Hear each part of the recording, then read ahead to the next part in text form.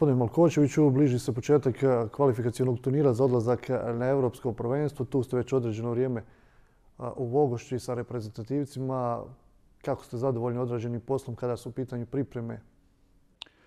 Pa evo, četiri dana rada iza, iza nas. Najvažnije je da su svi došli zdravi i spremni, e, svjesni šta nas čeka u, u tom prvom krugu kvalifikacija prethodne dvije generacije su nam dale zadatak da treba da, pro, da prođemo u taj elitni krug. A, s druge strane su reprezentacije e, takozvana ruska škola, znači o protivnicima, svi su uglavnom igraju isti stil. Znači Ukrajina, domaćin Moldavija i, i Estonija. Imamo neke snimke njihovih utakmica, znamo koliko mi vrijedimo, istina da je dalek put pred nama, ali očekivanja su i, i, i cilj nam je da budemo među dvije selekcije i da prođemo u taj elitni krug. Po imenima bi Ukrajina trebala biti uh, jedan od tih favorita, ali svako ne treba pacijenti niti Moldavije, niti Estonije, pogotovo, jel? Pa sigurno to su ekipe fizički uh, dobro spremne, puno, puno trče i, i na tehničkom planu su dosta, dosta napredovala. Ukrajina je favorit i njihove te mlađe selekcije su stalno u završnicama. Međutim, i mi smo napravili jedan iskorak u posljednje dvije, tri godine. Naša i U17 i U19 reprezentacija, tako da smo i mi redovan učesnik elitnog kruga. Ovaj, neće biti lako, to je, to je sigurno i nije lako protiv bilo kojeg protivnika. Ali kažem, imamo i mi određeni kvalitet. Nadamo se da možemo biti, ako ne prvi, onda bar među te dvije ekipe, iako i domaćin uvijek ima nekakvu prednost, ali mislim da smo u ovom trenutku kvalitetni bar od, od te dvije ekipe, ali nikad se ne zna. Dugo ste radili svojim selekcijama u 17. Kako izgleda ova generacija koja je sada tu?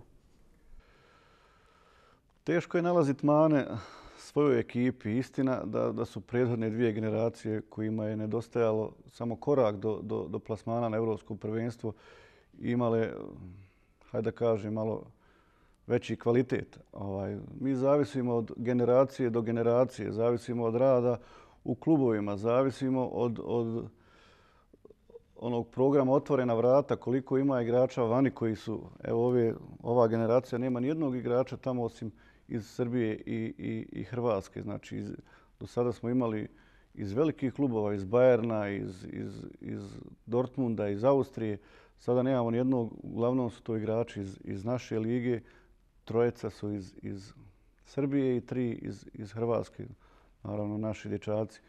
Uh, međutim, imamo dovoljno kvaliteta da se možemo, ako ništa, ravnopravno nositi sa ovim ostalim reprezentacijama. Kada su pitanje ove mlađe kategorije, eh, ono što muči selektore jeste ta činjenica da nemaju eh, previše tih okupljanja, da prije ovih eh, kvalifikacijskih turnira su poprilično kratki periodi kada ih reprezentativci provode zajedno to vrijeme. Pogotovo to može biti hendikep kad se radi o, o novoj generaciji. Naravno, svi se srećemo e, s tim problemima, pogotovo u ovoj našoj U17 selekciji. To su prve utakmice, oni nemaju U15, nemaju utakmica, nego samo e, sele, napravi selektor kolega Erbez selekciju ali puno se popravilo u odnosu na, na, na prethodni period. Kad se sjetimo, kad smo došli tamo 2011. nije bilo, nije bilo tako dobro. Međutim, evo, e, odigrali smo po desetak utakmica prethodne dvije generacije do kvalifikacija i to je odmah dalo, dalo rezultata, tako da smo te dvije godine se plasirali u, u, u elitni krug. Pa imamo otvaranjem centra u Zenici, situacija se puno puno popravila zahvaljujući direktoru Piriću, zahvaljujući generalnom sekretaru, izvršnom odboru. Imamo mi sada ovaj, puno više okupljanja nego što je to bilo ranije, a i rezultati su odmah vidljivi. Sigurno da nije lako preko noći eh, dići se među prvi desetak. Međutim, jedna i druga selekcija su napravili uh, iskoraki u odnosu na, na, na, na period od prije 5-6 godina. I za kraj, kako ste zadovoljni radom u klubovima sa upravo tim mlađim kategorijama? Pa mi u mnogo čemu zavisimo od, od, od rada u, u klubovima i zato je prednost nama donosi ovi igrači koji rade vani u, u većim klubovima.